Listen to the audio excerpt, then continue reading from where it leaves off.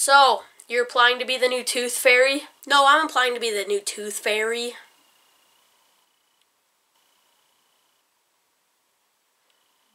Wait a second. Uh, okay. So, why do you feel like you're qualified to fulfill the role of Tooth Fairy? Because I'm a fairy and these wings are not fake and they're real. Look look how real they are. See if if you look at them then you can you can you can, you can see them. Uh I'm a real fairy. Okay, yep. So, uh, what work experience do you have? I worked at the zoo cleaning animal poop and as a food critic. And I hope those two jobs were unrelated. No comment. So, how do you feel like you could be innovative with the role of Tooth Fairy? I actually have innovative plans to not give kids money for their teeth. Money's expensive. I mean, there's no way the last Tooth Fairy was running a legit operation. Well, she did quit for not having any money left, but she was able to move into a mansion that she built entirely out of teeth, so there's that. I have never questioned my career path choices like I am at this moment. Okay, look, point is, kids want the green paper. They like to look at the green. It's like, it's aesthetically pleasing or something.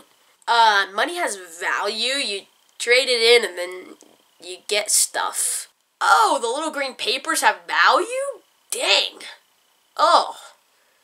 Maybe I shouldn't have burnt 400,000 of them. Note to self, stop burning little green papers. Why would you have the idea to light them on fire in the first place? Those dry fields weren't gonna burn themselves.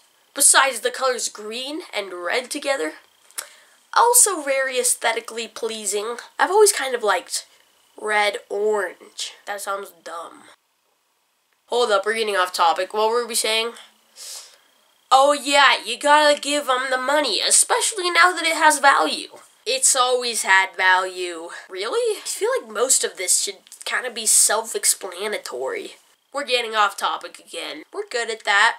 We need to be more professional. Focus.